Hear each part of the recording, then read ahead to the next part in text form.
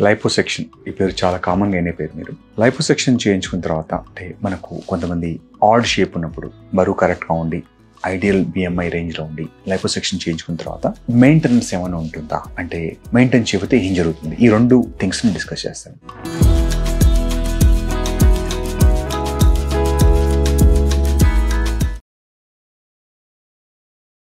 Liposuction అనేది మనం చర్మం కింద డీప్ లేయర్లో స్టబన్ ఫ్యాట్ని తీయడానికి వాడే ఒక ప్రొసీజర్ దీంతో షేపింగ్ చాలా బాగా కరెక్ట్ చేయగలుగుతాం. కాకపోతే ఇది చేసిన తర్వాత కనుక బాడీ వెయిట్ కనుక పెరిగితే మళ్ళీ ఫ్యాట్ డిపాజిట్స్ చేసిన దగ్గర కాకుండా వేరే దగ్గర డిపాజిట్ అయ్యే ఛాన్స్ ఉంటుంది. సో లైపోసెక్షన్ చేసిన తర్వాత మెయింటెనెన్స్ చాలా ఇంపార్టెంట్ ఫస్ట్ సిక్స్ మంత్స్ బాగా వెయిట్ చేసి తర్వాత మళ్ళీ హెవీ ఫుడ్ తీసుకొని ఎక్సర్సైజ్ చేయకపోతే మళ్ళీ ఫ్యాట్ డిపాజిట్ చేసిన దగ్గర కాకపోయినా వేరే దగ్గర మళ్ళీ డిపాజిట్ అయ్యే ఛాన్స్ ఉంటుంది. So first thing liposuction result మీ చేతిలో ఉంటుంది పర్మనెంట్గా మెయింటైన్ చేయాలంటే ఖచ్చితంగా మీరు కొన్ని రకాల డైట్ లైఫ్ స్టైల్ మాడిఫికేషన్స్ ఖచ్చితంగా చేసుకోవాలి.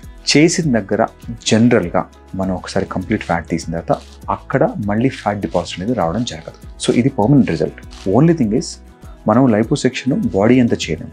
సో ఏదైనా ఒక ఏరియాకి మాత్రమే చేయగలుగుతాం. ఆ ఏరియాకి చేసినప్పుడు వేరే ఏరియాస్ కనుక అబ్నార్మల్గా పెరిగితే మళ్ళీ బాడీ షేప్ అవటం అనేది చాలా కామన్గా జరుగుతుంది. మీరు లైపోసెక్షన్ కన్సిడర్ చేస్తున్నా ఆర్ ఆల్రెడీ చేసుకున్న body weight or caloric restriction ఖచ్చితంగా మెయింటైన్ చేయకపోతే మీ రిజల్ట్ స్పాయిల్ అయిపోతుంది.